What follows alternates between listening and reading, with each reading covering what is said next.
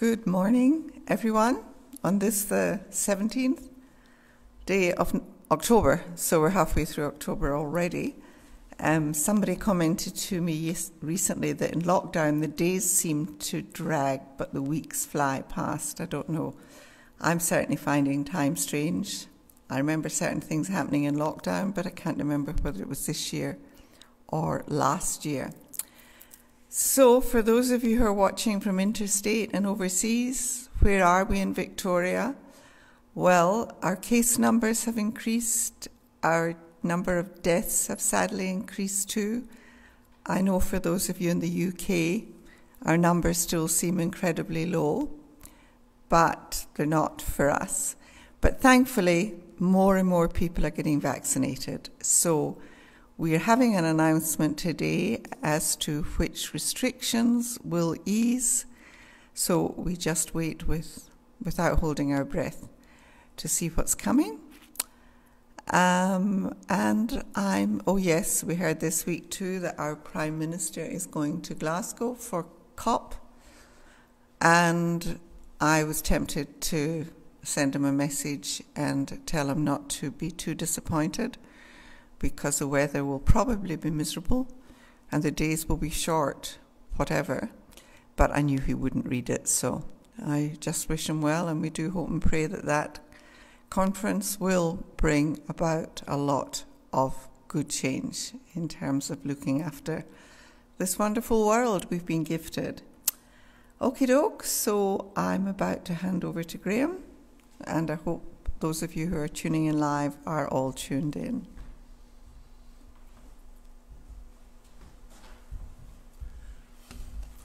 Well, thank you, Christine, and good morning. It's lovely to be with you. Uh, glad you're able to join us, whether you're on the Facebook stream right now or whether you're watching later on YouTube. My thanks to Ken, who does all that behind the scenes uh, manipulating for us. We're so grateful, Ken, that you do that.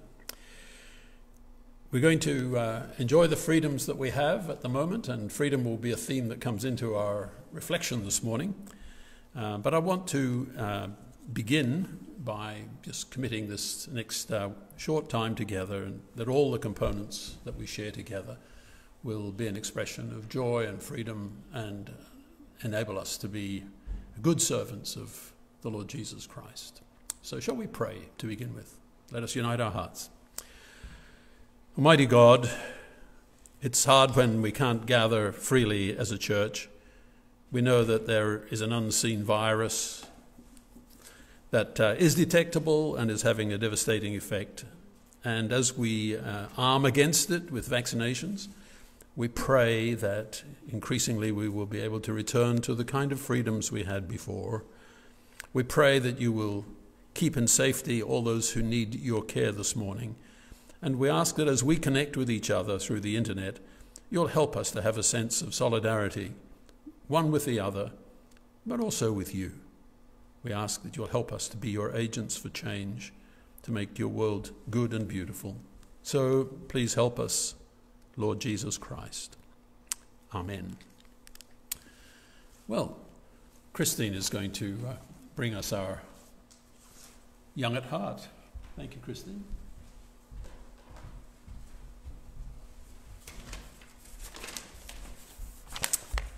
Here I am again. I struggled this week to find a topic to speak about today, but two publications have come into my hands recently, and I saw a link between them both. A member of our congregation lent me a beautiful magazine called This England. It had an article on the famous hymn writer Cecil Frances Alexander. I know today Cecil is more commonly boy's name, I think, but she was Cecil Frances. She lived from 1818 to 1895, but some of her hymns are still favourites and well known in the 21st century. They include All Things Bright and Beautiful. She grew up in a beautiful part of Ireland. There is a green hill far away, and once in Royal David City. So the Easter one and the Christmas one and the all year round one. I discovered that Cecil Frances began writing poetry when she was quite young. It's thought about nine years old. She told her sister, but not her parents. How many of us with sisters and brothers told them things we didn't tell our parents? The poems were hidden by the two sisters under the carpet in young Cecil's bedroom. Her father found them. And to his credit, he hit upon a very good idea to encourage his children's literally, literary possibilities. He produced, how serious is this? A secure box with a large split in the top end, like a personal secure mailbox. And poems written during the week were to be posted into this box. And on then, on the Saturday evening each week, Mr. Humphreys, the father of Cecil, opened the box, brought out the sheets of homemade poetry, and read them aloud. With this parental encouragement, Cecil continued to write. She eventually married an Anglican clergyman and found even more scope for her writing. All these years later, we benefit from her creativity, lovingly and wisely fostered by her father, and we assume her mother. The other publication which came to hand, well, actually to Graham's hands recently, was one of two books his brother gave him for his recent birthday. It's called My Penguin Year the author is a Lindsay McCrae, but he's not a Scot. He's possibly the next best thing from the Lake District. He spent a whole year in Antarctica, primarily studying king penguins, and there are beautiful descriptions and photographs in this book. But he also experienced the emotional turmoil of being separated from his wife, his home, and his unborn child, who I assume was born in the course of the year. I've, st- I've only glanced at the book, I've still to read it all. But I'm quoting directly from, I think, the second chapter. My passion, so this is Lindsay speaking, my passion for the natural world started very young. In fact, I don't think I can remember a time in my life when I didn't love everything about nature. Growing up in Cumbria on the edge of the Lake District National Park was an absolute privilege. And some, some of you may remember that I spoke about Beatrix Potter some weeks ago. And of course, a lot of that national park was land she owned and gave to the, to the country. Anyway, by the age, age of eight, I, Lindsay, had already decided that I wanted a career filming wildlife. So he was a year younger than Cecil was when she started on her poetry. Lindsay then refers to a BBC wildlife programme I was unaware of called Spring Watch. He wrote to them when he was 14 detailing how perfect the Lake District would be for the Spring Watch series the following year. So at 14, he already had that idea of having to plan well ahead for a TV documentary series. He knew it so well that with his letter, he included a map detailing the exact locations of all the wildlife he had discovered. He was particularly interested in badgers. To his surprise, he received a reply. They asked him at 14 to make a little program, a little film that would appear in the program. He received great encouragement, not only from his parents, but from viewers saying how nice it was to see someone so young on the program. And that is where his career in filming wildlife began and eventually led to this year in Antarctica and the book My Penguin Year. So it's probably obvious what I see as a common thread in these stories. It's young people having dreams from really very early on and having encouraging adults in their lives who enable them to fulfill these dreams later. I think there's a message for people here who are young at heart, no matter what age their bodies are. And I just remembered this morning coming to church that I read somewhere that even young people from very challenged and what we would probably call deprived backgrounds, if they have one adult in their um, childhood and teenage years who believes in them and cares for them, they will probably be okay. One adult. Anyway, back to the prepared talk. So, to the young people watching, if you have dreams, don't dismiss them. Perhaps share them with someone you trust.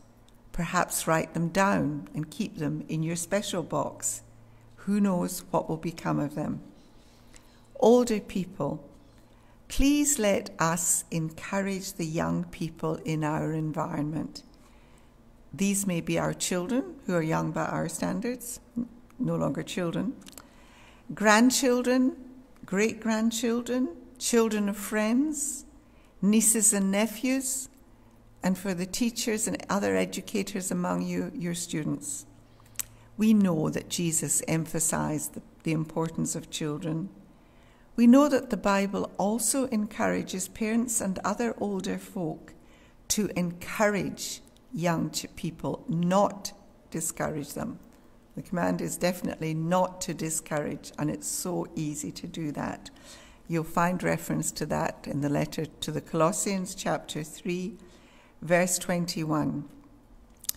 In this day of social media, which can be so negative, and we've just been hearing this week of scientists, epidemiologists, who say things people don't like about the abuse they get on social media. So, and young people like everyone else can be discouraged by social media.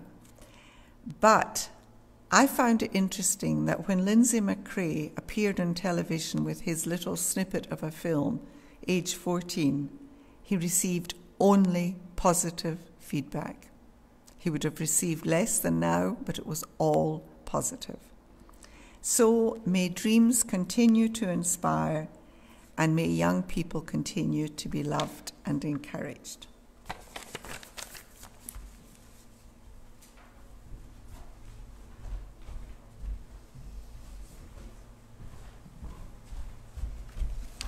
Good morning, everyone.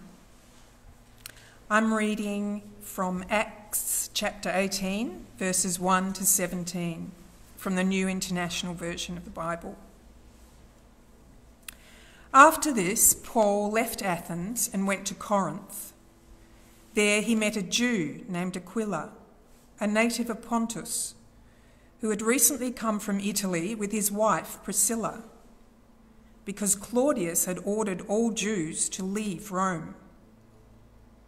Paul went to see them, and because he was a tent maker, as they were, he stayed and worked with them. Every Sabbath he reasoned in the synagogue, trying to persuade Jews and Greeks. When Silas and Timothy came from Macedonia, Paul devoted himself exclusively to preaching, testifying to the Jews that Jesus was the Messiah.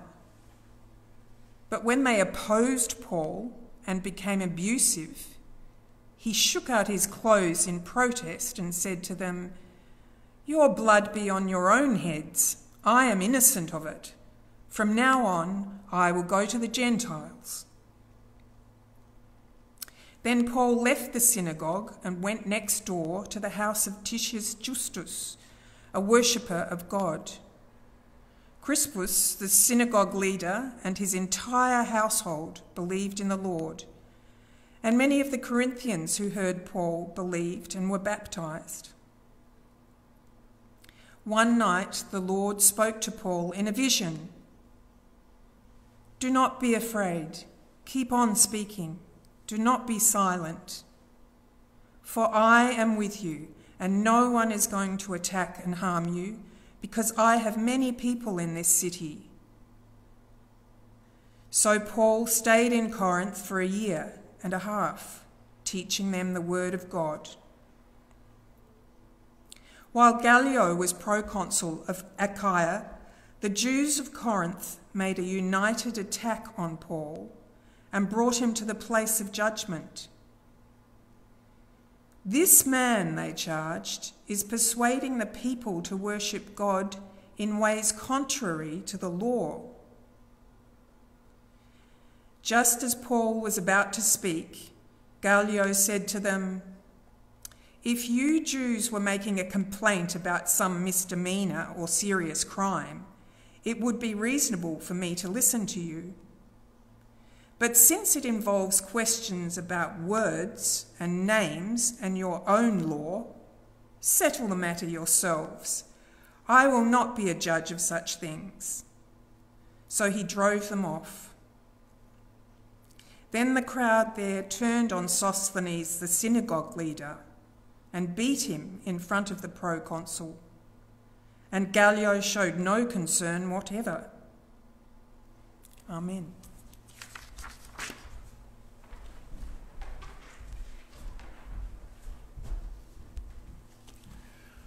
Well, thank you, Amanda, and may God bless even this part of His word to us this morning. I've used this image on the cover of the leaflet. It's, uh, it's called P38. All the papyrus fragments that have been uncovered that contain any part of the New Testament have a P designation. Uh, later on, uh, when the scriptures were written on vellum and parchment, animal skins, uh, they have different designations and more of them have survived. But this is P38. It contains part of Acts chapter 18, which Amanda has read another part of. And uh, it's in the University of Michigan, uh, and it, uh, it contains Greek text from the year 220. So uh, it's one of the earliest parts of the, the uh, letter to the Corinthians that we have, the earliest copies. It's uh, uh, freely available to read online, and you can check all the papyrus fragments online, and some of them are a good enough resolution to read. So we've, we've read part of an ancient book, and it comes from an ancient world. Uh, it comes from Corinth, Corinth, which, to which the Apostle Paul moved early on. Uh, and it's a city that was bigger by far than Athens in those days. Uh, Corinth uh, was uh, gateway to the isthmus connecting uh, the Peloponnese with the mainland of Greece. Of course, it's all connected. Uh, I'm told it's about five miles wide, and there's a port either side of the isthmus. So Corinth had two seaports. It also had uh, the benefits of being rebuilt. It was destroyed 146 BC, but rebuilt on the instructions of Julius Caesar to be a Roman colony and it was a famous city. It had the games every second year, um, and behind it, it had this imposing building, which is called Acrocorinth. It's the Acropolis at Corinth, and it's far higher than the Acropolis in Athens. Uh, and it had a massive temple. Uh, no, it was actually quite a small temple up there to the goddess Aphrodite, and it had several other uh, shrines and temples to Aphrodite down in the body of the of the town.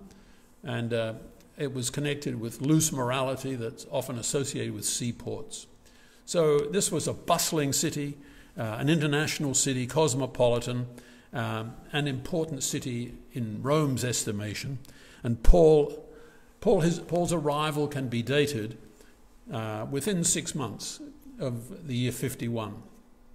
I'll maybe comment on that a little later on, but we, we know that uh, the, the proconsulship of Gallio uh, fitted in precisely with that sort of time frame, and it gives us the most specific connection with the Apostle Paul's itinerary. We've been following him from uh, Western Turkey across into Macedonia to Philippi, down to Thessalonica to Berea to Athens, and now he's arrived in Corinth. What's going to happen in Corinth? Well, we're going to discover that he stayed a year and a half, longer than anywhere else. And uh, some things happened that meant he had more freedom, new, new ideas about liberty. So we're going to look at three things.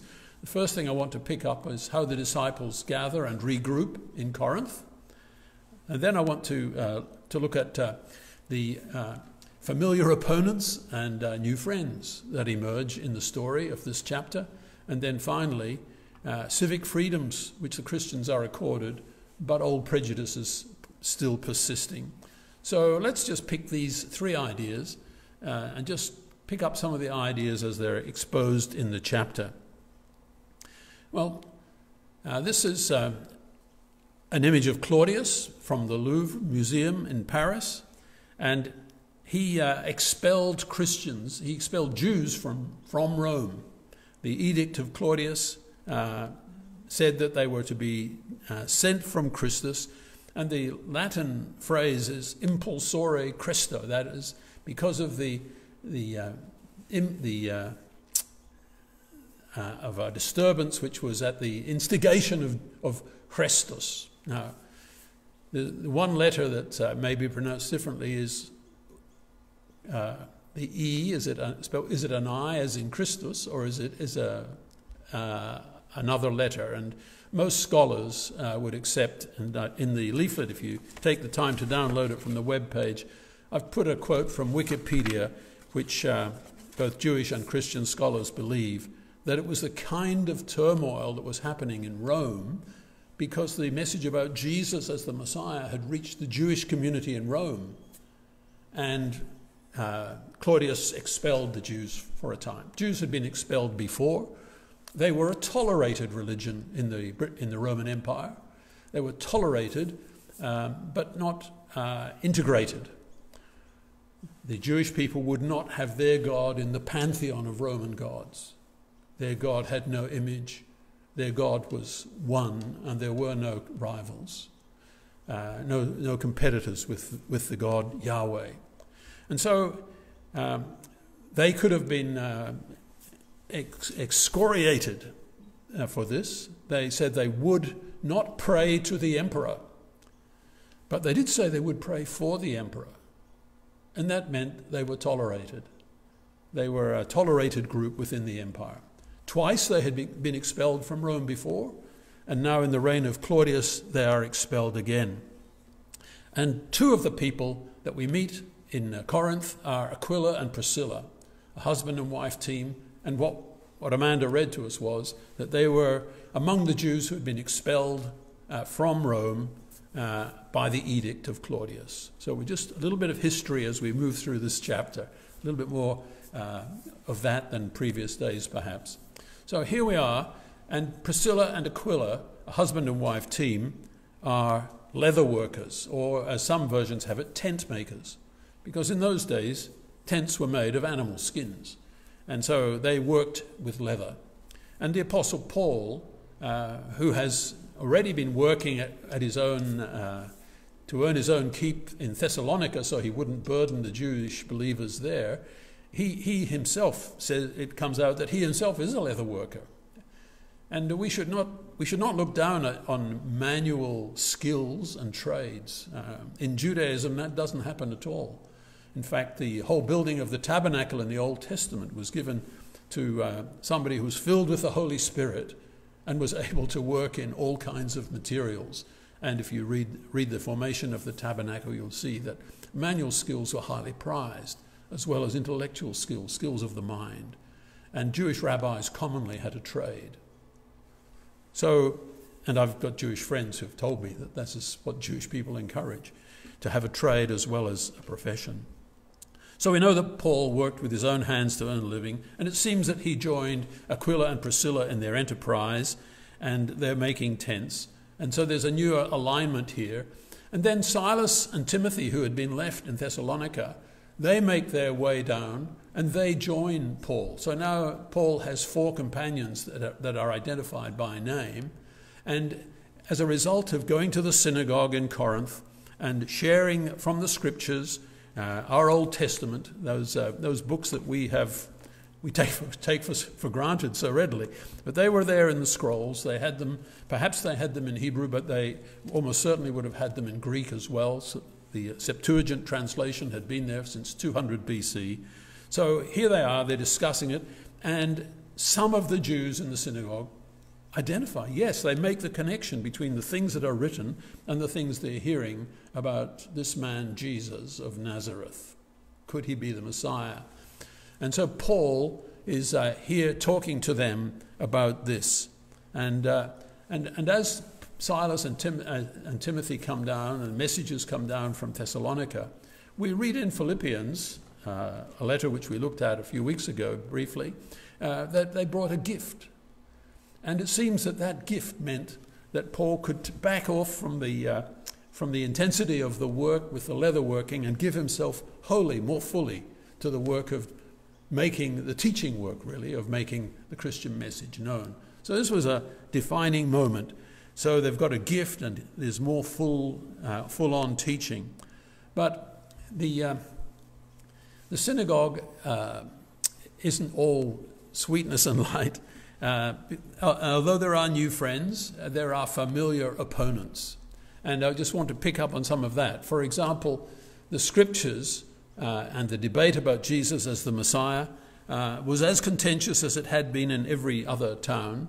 And uh, the name, uh, you don't hear Titius and Justus, and his name spelt mentioned very often, but let's just accept.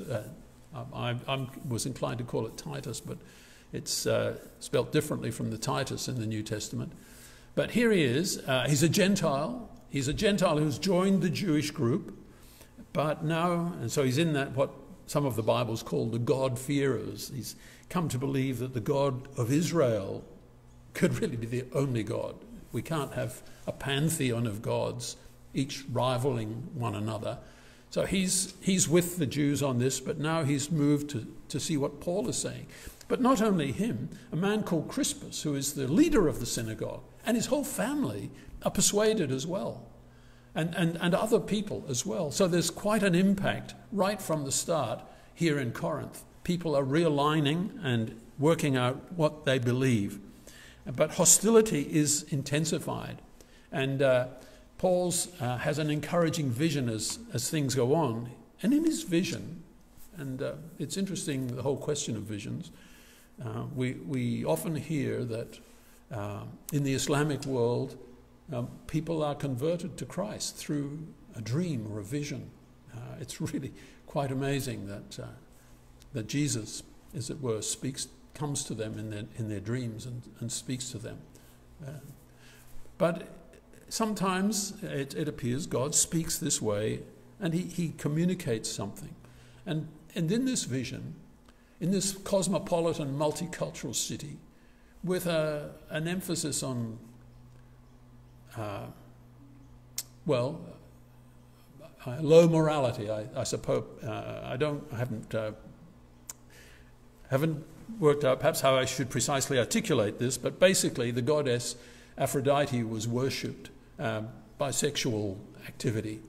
And so, and her, many, her three, three or four temples in the city, the, Acrocop, the, Acro, the Acrocorinth and the two temples down in the city, uh, had been a long tradition in this seafaring town. And so there was a sort of low morality. It reminded me of uh, John Wesley's diary entry when he went to Newcastle in England, another sea, seaport. He said it was the darkest corner of England, a place just right for the Christian message.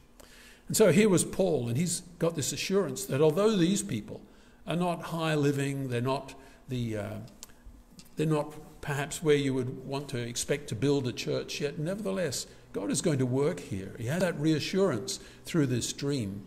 And then uh, there is that gift from Philippi that has sustained him and enabled him to carry on with this work. Let's just take a look uh, then at, at, Gallio, who comes into the picture here. Gallio uh, is mentioned, uh, it was in an inscription found last century uh, up near on the, up on the uh, the Acrocorinth mountain at a, at a temple there called the Temple of Apollo. And Gallio's tenure uh, can be fairly uh, accurately dated to between 51 uh, and 52 AD.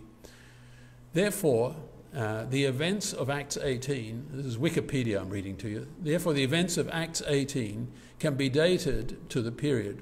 This is significant because it is the most accurately known date in the life of Paul. So here we have it in, in uh, chapter 18 of the Acts of the Apostles. Gallio is the proconsul. It just so happens that Paul, uh, that, that Luke, in writing Acts, uses precisely the right term. At, at, one stage, it was thought he was using the wrong term, calling him a proconsul. But in fact, it was just the right time, the right term for this time in the life of Corinth. So, although, G- although Jews wouldn't pray to the emperor, as I've said, they had said they would pray for him, and by declaring the dispute right here to be an internal Jewish matter, Gallio gave the Christians the status of a tolerated religion. It was an internal Jewish matter as far as he was concerned. And so suddenly we have uh, the synagogue no longer open to Paul, but he moves next door. He moves uh, to the house uh, belonging to one of the people who've become a believer. And so house church starts. Uh, you know, we've seen the church meeting in people's houses before, but here it is in a Gentile environment the teaching of the message about Jesus in people's private homes. And so we have uh, new uh, development happening. And in particular, uh, I've called it civic, civic freedoms and old prejudices. Just want to pick up on these things uh, and, and then think about some applications briefly. Gallio allowed the mob to beat up Sosthenes. He declared the, the, uh, the, uh, the Christians, the believers in Jesus, the ones who followed the way, as it's been called right through Acts, especially in chapters 16, uh, 18, uh, the way of Jesus. It's a way of life. It's not just intellectual assent to ideas, it's the corresponding change in life that belongs with that. And he's saying that that's, that's he, as far as the Roman Empire is concerned, that's an internal Jewish matter. But when he turns his back or when he sees the, the mob beating up Sosthenes, the new synagogue leader, uh, he, he, let, he tolerates that as if that didn't matter. It's an act of anti Semitic violence. Now, just a little bit of other points of history. In 54 AD, Nero became the emperor. And Nero wanted the Jews back, and he allowed them back. So later on in the New Testament, when Paul writes to the Romans, he, he's writing, and Priscilla and Aquila are there in, Acts chapter, in Romans chapter 17. They've returned to Rome and they're working there. And in fact, we, we, we discover them uh, between, between 54 and 51, where we are now. They also go to uh, Western Turkey. So there's, there is movement afoot. And I, I had to uh, dig out my, my old copy of the Letters of the Younger Pliny. It's a paperback edition that I bought many years ago. And just check that it, that it is uh, book 10. So there are, in the chapters of the book, uh, they're called books. Letter 96, I think it is. Uh, the younger Pliny asks the Emperor Trajan, what, what should I be doing with these Christians? I've caught a couple of deaconesses, a couple of women who go to their meetings, and I've, I've I've uh, found out from them what they do. They meet early in the morning of the first day in the week. They sing to someone called Christ as if he was God. They pledge to live a certain way, uh, what we would call Christian morality. He spells out what they did. And, and he says to Trajan, What should I do with them? Uh, I, I'm convinced that I should give them three opportunities to recant, and if they don't recant and uh, deny their faith, then I'll kill them. Is that okay? And the, the, reply from Trajan is there, yes, that seems a good idea, my dear Pliny. Uh, go ahead with that. So between 51 with Gallio and 110 with Trajan, the whole situation for Christians turned on its head. And the question is how do we coexist with people who live so differently from us? Well, someone of my generation could be excused from knowing about a band called U2. About 2005, when they toured uh, the world, this headband became uh, very common. It has the word coexist written across it, uh, and it has the C from the, the, uh, the uh, crescent moon of Islam. It has the Star of David for the X, and the T at the end is the cross of Christ. And he said, Why is it that the children of Abraham cannot coexist? It was a good question to ask because the band grew up in a time in Northern Ireland. Uh, one of their first songs was, uh, early songs was called Sunday, Bloody Sunday, which was a day when a bomb was detonated that killed many people. And as young, young men in that time, they wanted a different way. How do we find that different way? And here they were, uh, almost a lifetime later, singing the same song, but saying it applies to all of us. The whole world is looking for a way to coexist how do we find it? Well, I just want to raise three questions um, that relate to the world today. The question is how are we to coexist? Just recently, and this is the first illustration of the difficulty, uh, Worcester College at Oxford University, a university whose motto is uh, The Lord is my light. Okay, Latin, of course, but that's what it says in, in uh, a university which until about the 1870s only admitted Anglicans. How is it that that university apologized unreservedly for a Christian camp taking place during the summer break? The, the whole story is in the media, uh, but you need to read it and understand it, and you see how complex an issue we're talking about. But how ironic, too.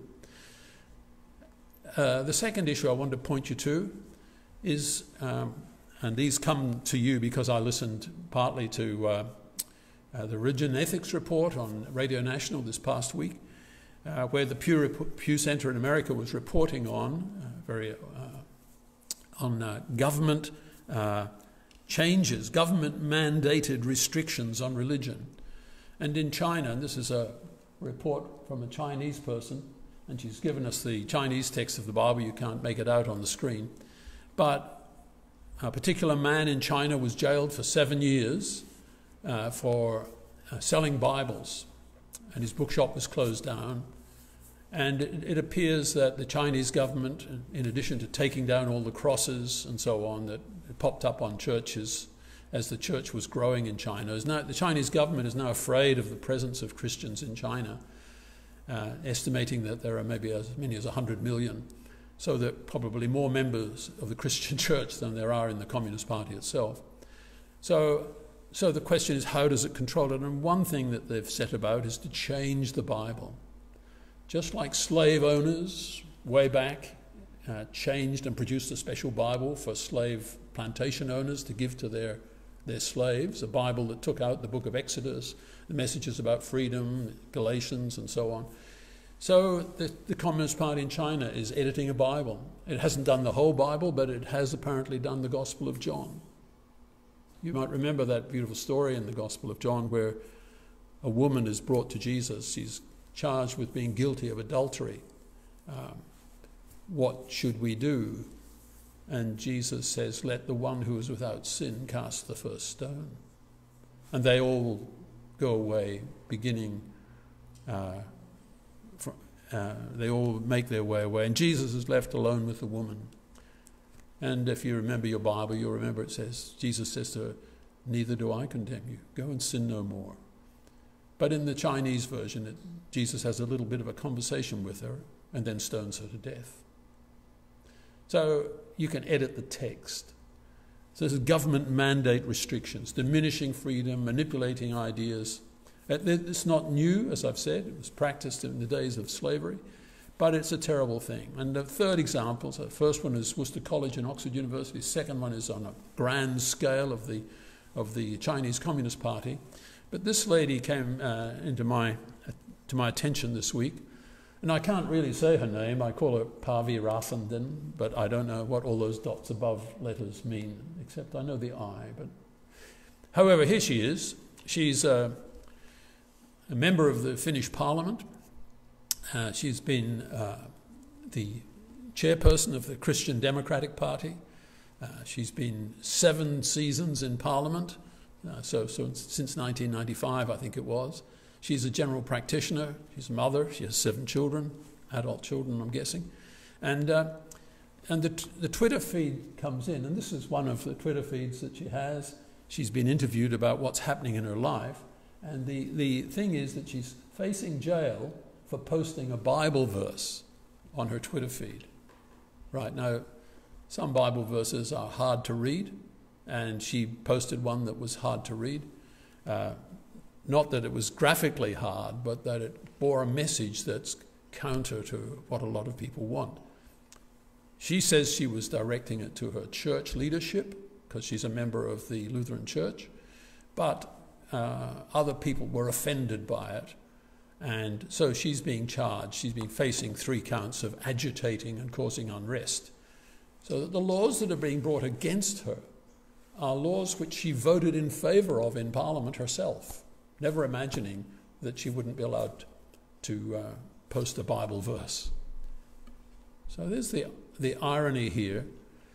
Um, the, uh, the case is to be heard in uh, February this coming year, uh, three counts against her. And it's being watched carefully because if it goes ahead, it could mean that printing Bibles will become uh, an illegal activity in Finland.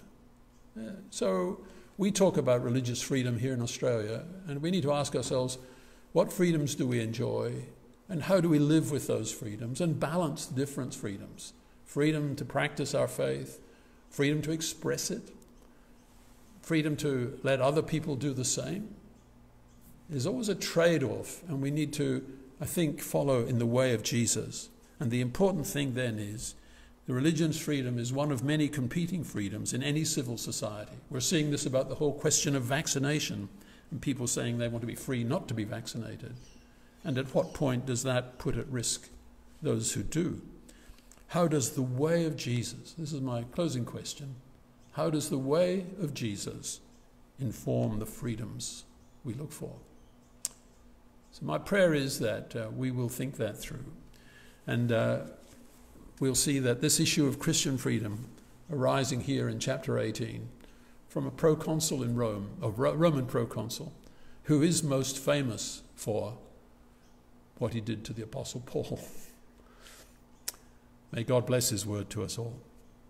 As we think about these things, we're going to be treated this morning to uh, a trio, and if I'm correct, I think this might be their first international performance. so Amanda, who normally plays with us, is joined by Sue, who has played here before, and Barbara is also joining them. And I'm going to do the tricky thing of turning the camera so that we can see them as they play. Uh, and they're playing for us Andante and Allegro from Sonata in G minor by Handel. Thank you.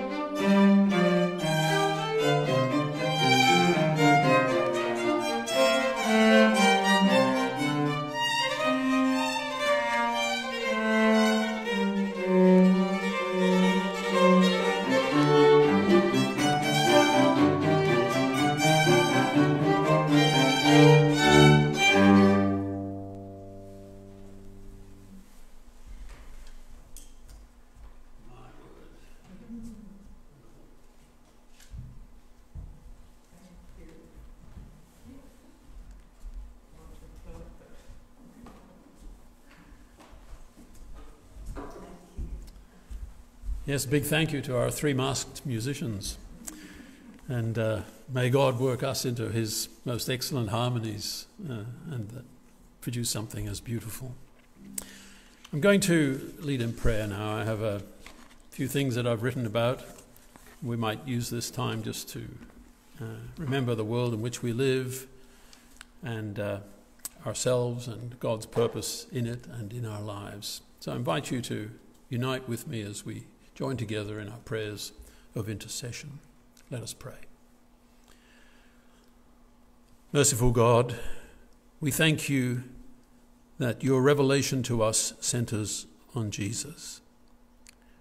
We remember his gentleness among us, his concern for the sick and the sorrowing, how he taught in parables and the people heard him gladly, and that he became as, came as a carpenter and until the day when he was to be revealed to Israel as her Messiah. He has encouraged us to fear not, but to come before you as our great God and Father in heaven with reverence and holy boldness. For he who is our Saviour and elder brother is in your nearer presence representing us, and the Holy Spirit makes intercession for us with sighs too deep for words and we grieve for the troubled world in which we live, where incompetence, corruption, oppression, and violence continue to affect the lives of so many people, where powerful men act with impunity and self interest. And for citizens of so many countries, the lights are out, the fridge is empty, the room is colder now, and unschooled children go hungry to bed. We remember, Jesus said he came not to be served, but to serve and to give his life a ransom for many. And in that service, he poured out his life unto death, even death on a cross, for a lost and wayward humanity. Thank you that Jesus' way has reverberated through the ancient world as people embraced a crucified and risen Saviour. We pray that today, the needs and hurts of people around the globe will experience the healing balm of the great physician. Help us to use the freedoms and privileges we have to communicate the hope, the healing, and the generosity of Jesus to all in need. We remember all who are denied freedom of conscience by government oppression and mandated restrictions, thinking especially of Uzbekistan, where a Christian music app or Bible can result in detention.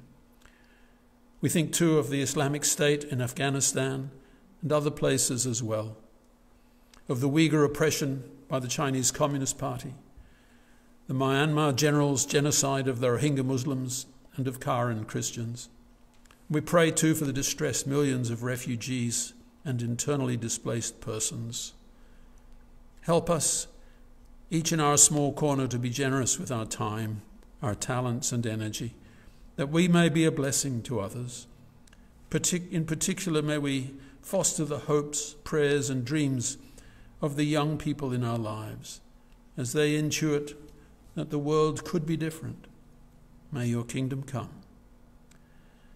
As Australian states begin opening up, guide state and federal leaders with good advice from the health specialists to negotiate the path through social isolation, psychological stress, education deficit, and business failure. As Australian states begin opening up, we are conscious of high numbers of infections still and hospitalizations, especially in ICU wards and those requiring ventilators to breathe. Comfort those suffering difficulty breathing and be with their families through such trying times. Remember that many have died of COVID. We commit to you our elderly, frail, and sick friends this morning. Bring encouragement and hope to them now as we commit them to you in the silence of our hearts.